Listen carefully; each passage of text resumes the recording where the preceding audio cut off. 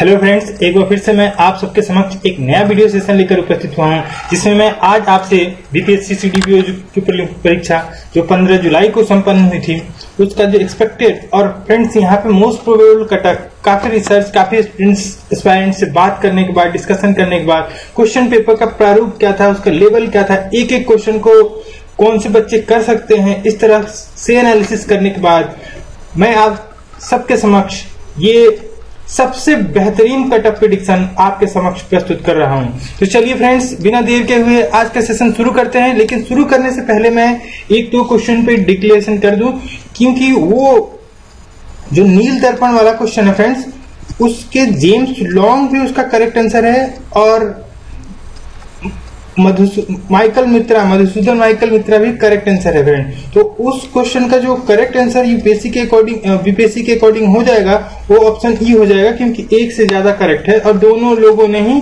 उस नील दर्पण जो किताब दीन बंधु मित्रा ने लिखी थी, उसका ट्रांसलेशन इंग्लिश में किया था. तो ये फ्रेंड्स और फ्रेंड्स सेशन शुरू करने से पहले अगर आपको कोई भी डाउट है तो आप कमेंट सेक्शन में लिख के ज़रूर बताएँ। मुझे बहुत हर्ष होगा आप सबके डाउट क्लियर करने में। तो फ्रेंड्स चलिए आज का सेशन शुरू करते हैं।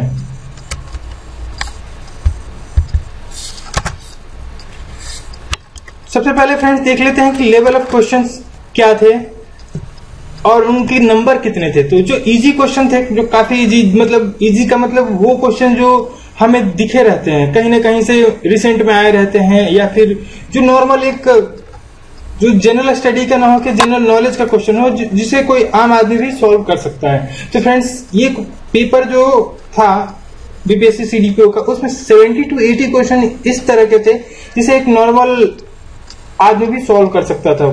जनरल जिसके पास थोड़ा सा भी जनरल इन्फॉर्मेशन मालूम है या फिर लूज एंड या फिर इजीली सॉल्व कर सकते थे। तो एक तरह से कह सकते हैं पेज पेज ये जो क्वेश्चन पेपर था, वो इजी ज़्यादा था। In comparison with BPSC prelims जो हुई थी, उसके उसकी तुलना में। मॉडरेट क्वेश्चन थे 30 से 40 और जो डिफ़िकल्ट क्वेश्चन थे, जो बहुत ही रेयर डेटाबेस क्वेश्चन थे जिसपे या फिर जो डाउटफुल क्वेश्चन थे, वो 30 से 40 क्वेश्चन थे। तो फ्रेंड्स टोटल 150 क्वेश्चन में जैसा कि हम देख पा रहे हैं, आधे क्वेश्चन इजी हैं। यही एक एवरेज है। मतलब कि ये एक बेंचमार्क हो हो गया। तो फ्रेंड्स कटअप भी जो डिपेंड करेगा क्योंकि इजी क्वेश्चन ज़्यादा थे बीपीएससी प्रीलिम्स की तुलना में, इसलिए सीडीपीओ का कटअप जो बीपीएससी का कटअप है, उससे भी थोड़ा ज़्यादा आगे निकलने की चांसेस है। तो फ्रेंड्स देखिए, इसमें कोई ये नहीं है। मैं आपको सही इन्फॉर्मेशन दूँगा। मेरा पहला और आखिरी मकसद है कि आप लोगों को हेल्प करना।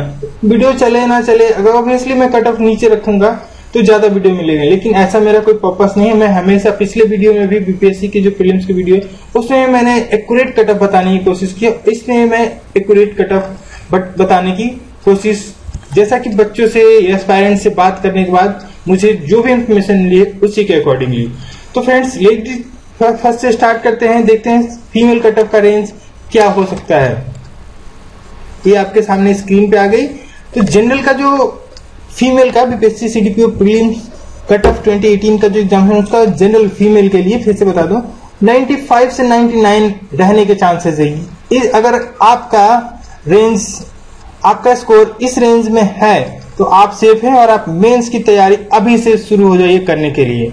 OBC 91 to 95, EBC 89 to 93, SC का 80 से 84, एसटी का 78 टू 82 तो ये हो गया। अगर फ्रेंड्स अगर आप महिला हैं और आपका कट ऑफ़ कैटेगरी वाइज इस रेंज में रहता है तो आप बेधड़क लग जाइए। और ज़्यादा से ज़्यादा दो मार्क्स आगे या पीछे है तो बिल्कुल ही एकदम श्योर शॉर्ट आप मेंस लिखने वाले हैं इस साल बीपीएससी सीडीपीओ की परीक्षा में।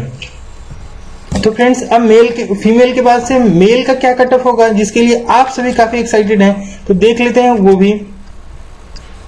फ्रेंड्स जो हमारा अनुमान है, वो जनरल का कट ऑफ़ जनरल मेल का कट ऑफ़ रहने का बीपीएससी सीडीपीओ की परीक्षा में वो 106 से 111 तक जाने की चांसेस हैं। ओबीसी का 103 से 108 ईबीसी का 101 से 106 एससी का 87 टू 92 और एसटी का 80 से 85 तक।